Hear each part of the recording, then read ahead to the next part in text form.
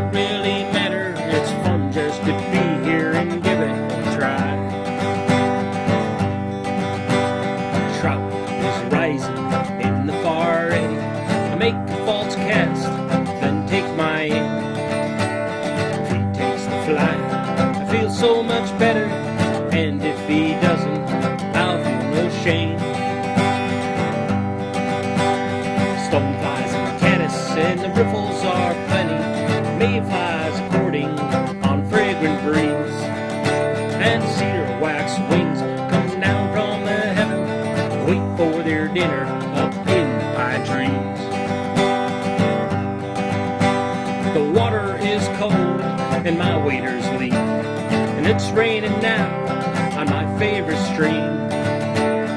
I'll bear it all, just fish with a feather. So when I sleep, I will have a sweet dream.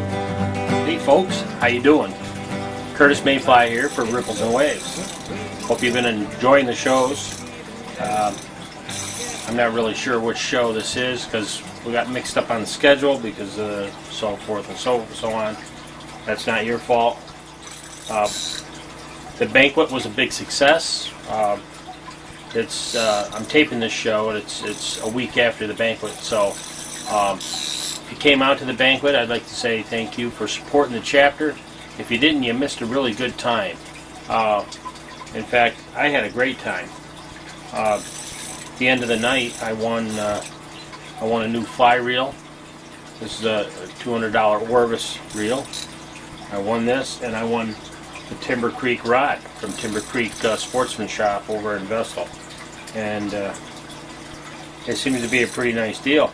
Um, it's a large arbor reel, and it's kind of it's aluminum with the gold finish. And uh, I'm really happy about that. Uh, like I need another reel or rod, but uh, I'll certainly use it. I'll certainly put it to good use on the Beaver Kill and the Delaware, and wherever else I may roam. But again, I want to say uh, that's a nice rod right there. That's a custom-made uh, Timber Creek rod that I won, and uh, I'm very happy about that. I always wanted one of those.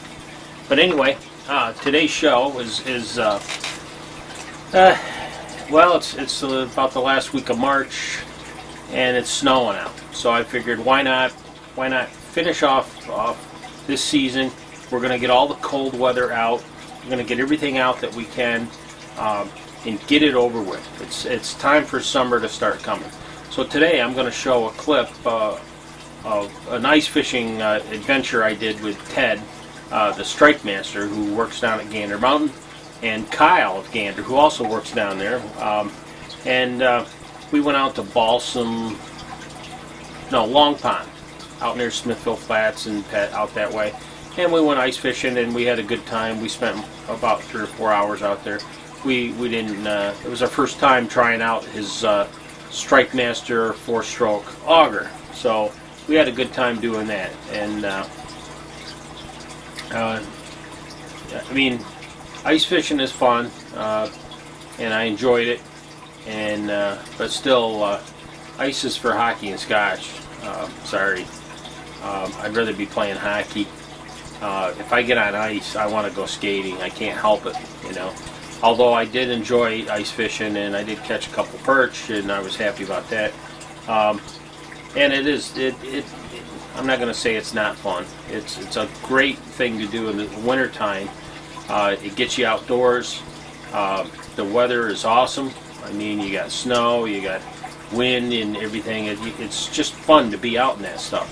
Um, and you have to prepare for it. So you have to you have to know what you're doing. You can't just go out in the cold like that and and not freeze your fingers off. So uh, keep that in mind that you, you really need to pay attention to what you're doing when you do go ice fishing and prepare for it.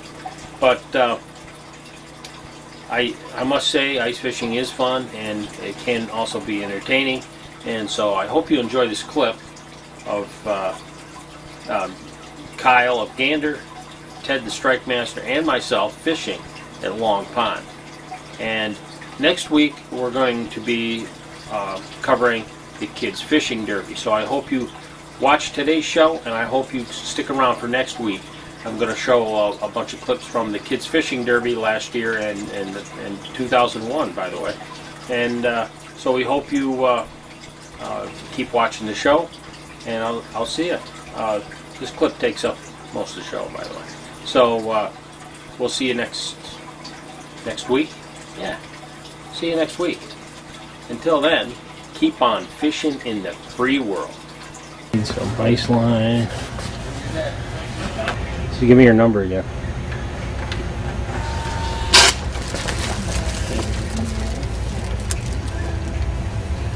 What are those ones spelled out? The fact is, the Republicans are corrupt, they are crooked, they will take money and they will do anything for a dollar. That's why they must be voted out. Yep, thank you, sir. All right, very good. Very good. Congressman here is, is trying to, is doing the same muddying the waters thing. He said, you know, It's all under control. Oh, we're on route number two going to Long Pond. Right. Go to Smithville Flats and take a left, and we're there.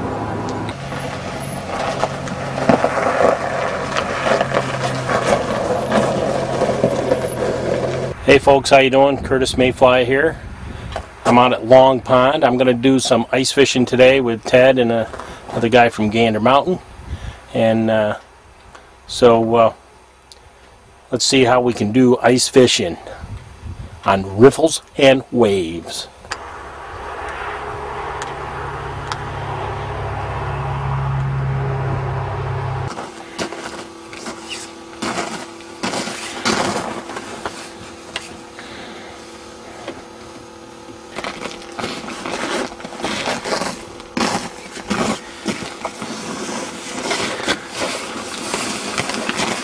Ted, the Ted uh, expedition to Long Pond begins.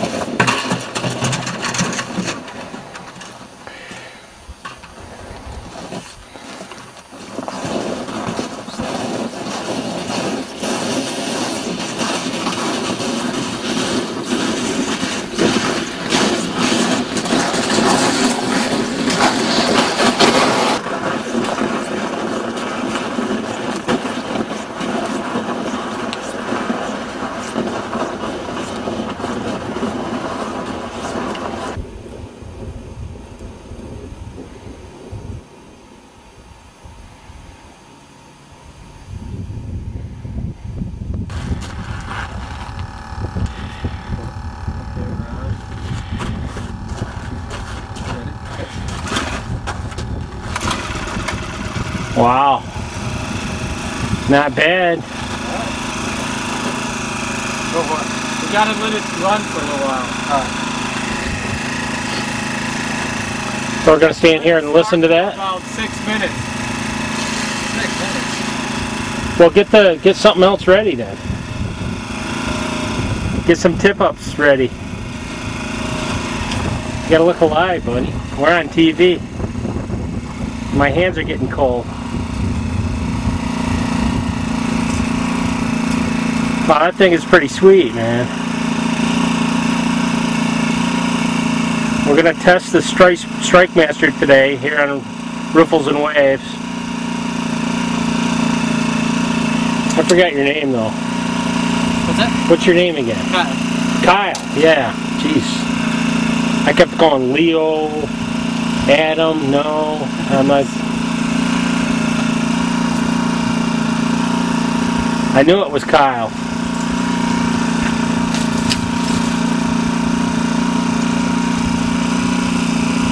How many you got in there? Enough?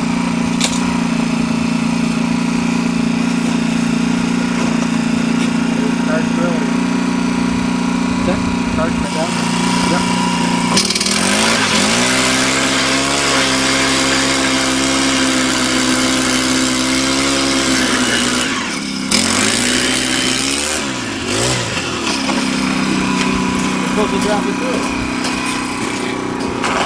Nice job, Ted.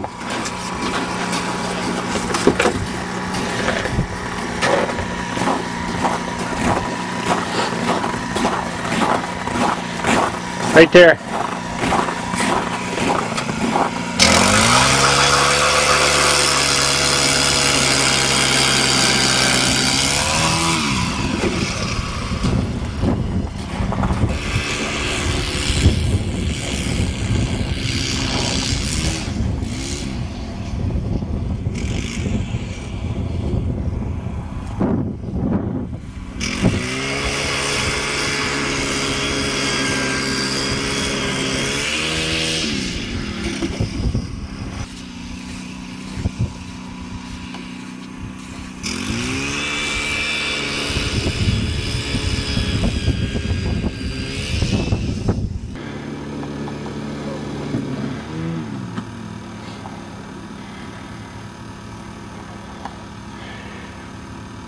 Oh, nice one. Yeah.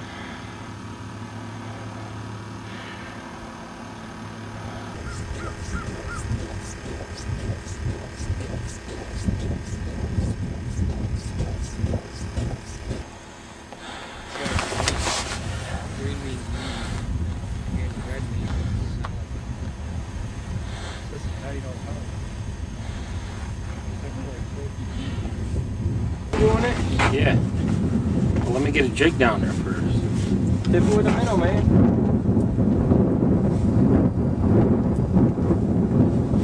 Give me a minute.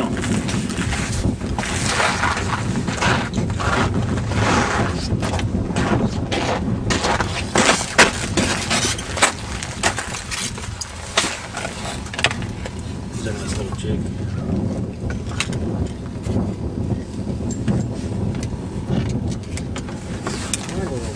Just give me one.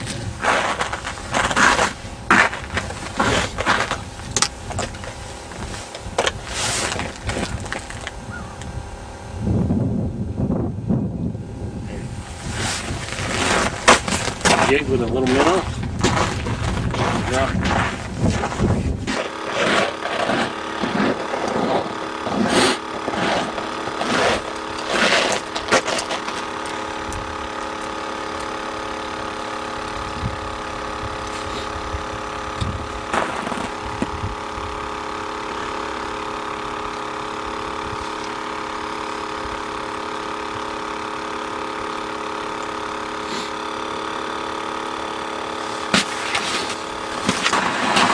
One to the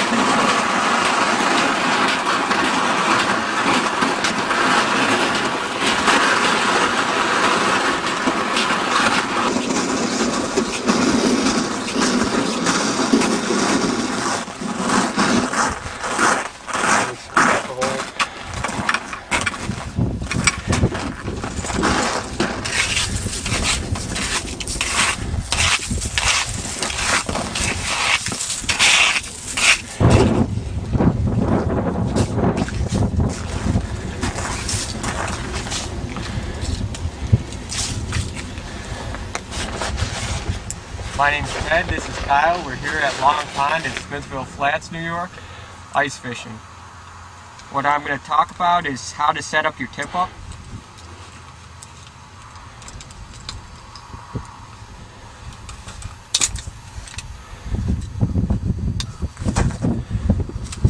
First, what you do is you take your your line and your hook, and you clip one of these weights on. This will tell you where bottom is and what depth you're going to be fishing at. You just clip it on, and you set it down in your hole until you feel the weight on the bottom.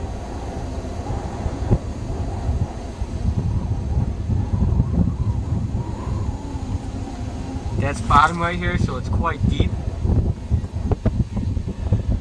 You grab your line, you count for the thickness of the ice. It's about six to eight inches thick today. And you go up about another foot so that your bait will be a foot off the bottom. Then you grab it and you loop it around so that the next time you set up your hole, you will know what depth to set it at.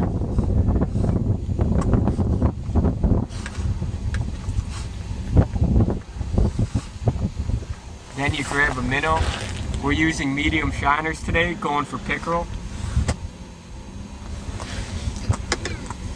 Take it and you hook it underneath the top fin here so it can swim freely.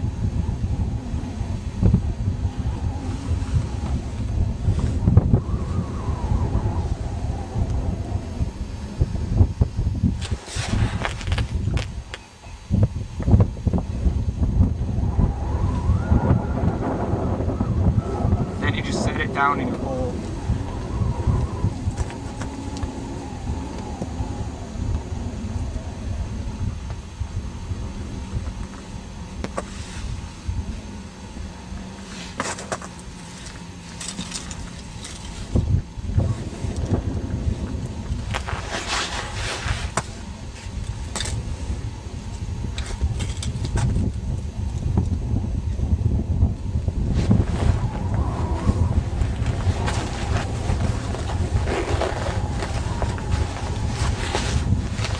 And here's my loop in the line, so I know where to set it.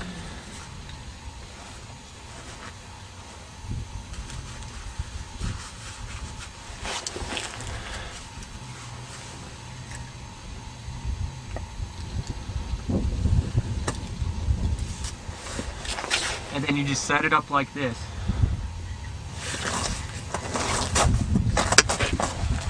On to the next hole. Like, sure, they thought I was going to be able to start that thing. Yeah. It's so. s- I thought you. You don't even get jerked around by it any. Hey folks, Kurt, Kurtis Mayfly here. My camera's crooked, but that's all right. Uh, first thing you do is you drill your hole and scoop out the ice. And uh, so we have a nice clean hole here. Hi fish. Anyway, we're gonna follow Ted's Ted's instructions here and see if I can figure it out. We have our weight on here.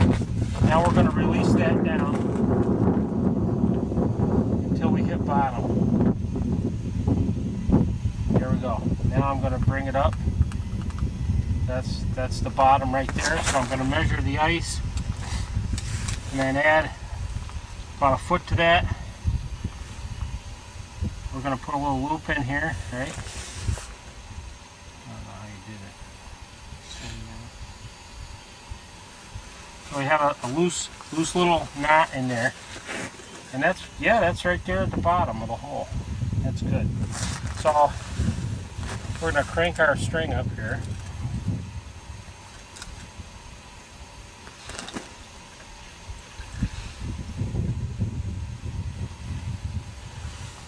Then that goes in there, right? Yep, and so it comes through. So we have that set. Now we can bring our line up and put our minnow on there.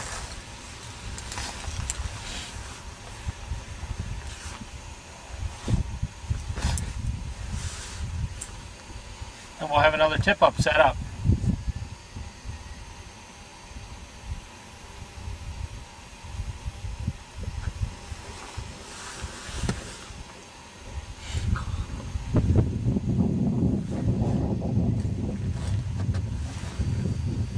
That easy, folks.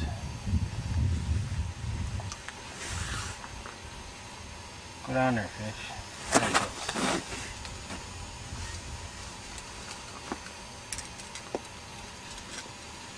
So that's on there, right? We're going to set it on this side. Just like that. Now when a fish takes that, this is going to flip up see if we can show that.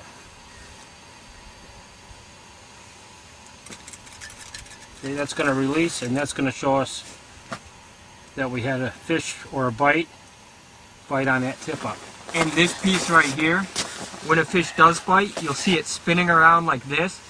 And the easiest way about these tip ups is if you set the hook, you just grab here and yank up and then you, you, and you have a hook. fish on. And again, you always want to make sure your name's on the tip ups. We saw a DEC truck back in Smithville Flats, so we don't want to fool around with the laws. You can use a maximum of five tip ups and two hand lines, which means jigging poles, so you can have seven lines in the water. Wow.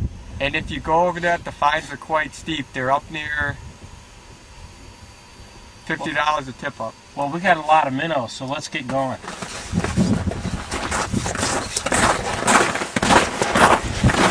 This is a new auger on the market. It's a Strike Master 4-stroke. How you basically start it is you turn your switch to on. You you prime it three or four times until you see the fuel in the line. You put it on start, or because I used it before, you put it on run, and all you do is you pull on it.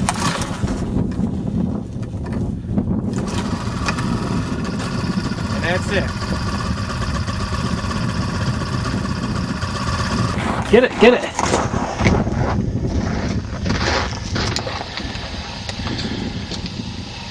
Well,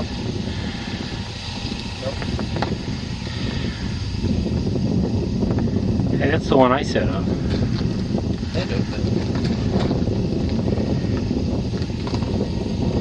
I learned You get one? Oh yeah. Pull that baby up, man.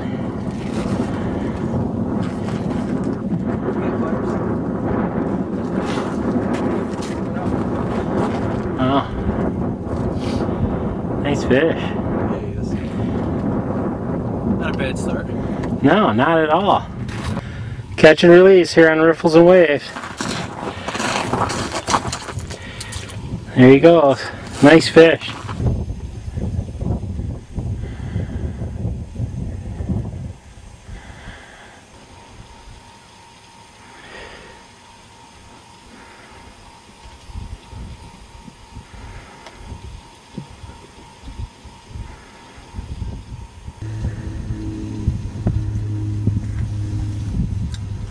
That is a dandy perch. It is. That's a nice perch. I should get my auger jig over here. Yeah. I'm gonna put that minnow back down there.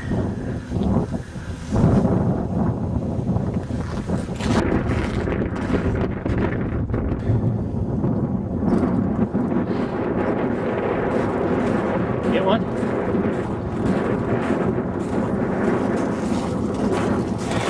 Oh, Nice. Smallest fish of the little pickerel. Is that legal or? No. Oh well, sorry Ted. But you got a tip up. Yep, first one. I've been let the rookies catch him first.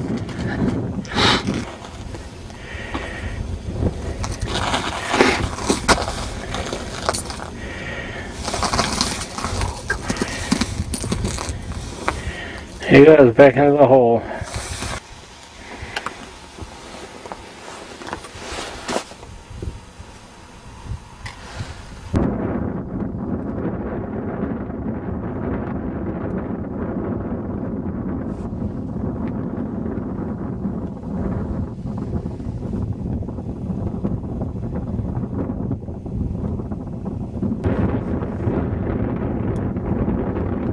How you doing, Kyle?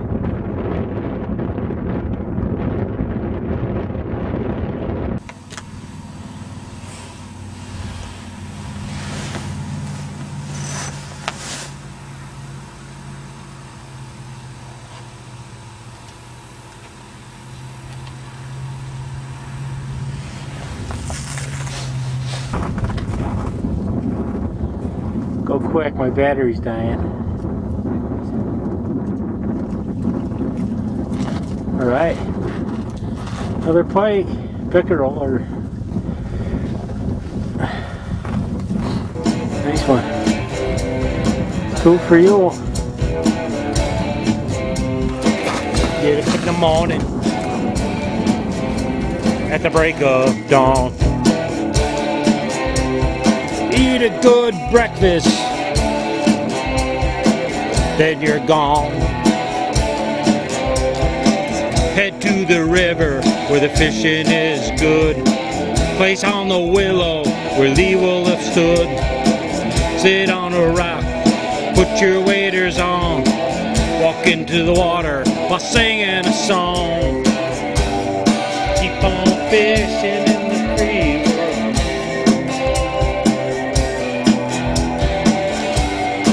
Keep on fishing in the free world.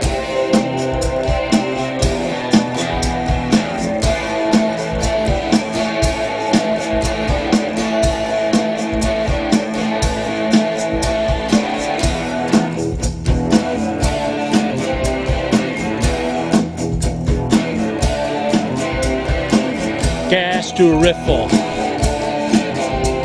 that's in the shade. Cast in the fly that I just made. Cast to the riffle with no lock there. So I try in an eddy with mayflies on the air. Cedar waxwings in the trees feeding on mayflies on the breeze.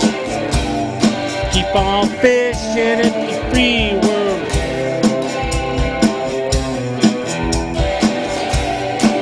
Keep on fishing in the free world.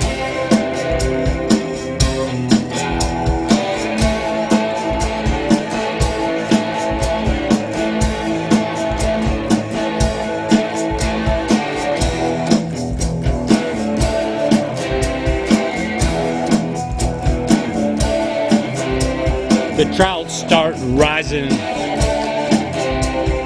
in the pool. Is clean and the water is cool. With a green drake, I cast to a rise. The trout takes to fly. To my surprise, the rod is tight and the rod is bent. And after a while, they trout in the net. Keep on fishing in the free world.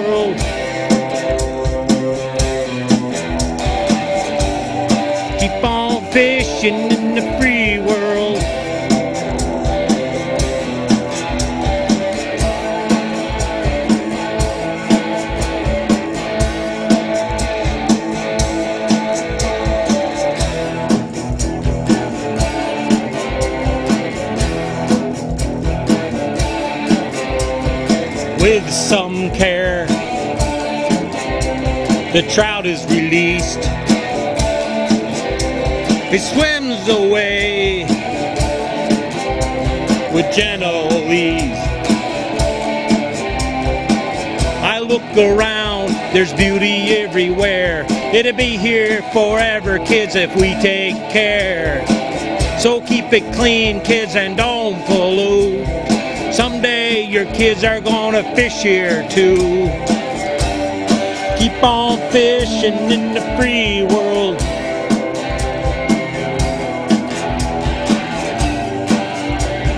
You gotta see this. Kurt Nelson, What? I came home and told you that very thing, but you just came in. No, never mind. I did too. You did not. I did too.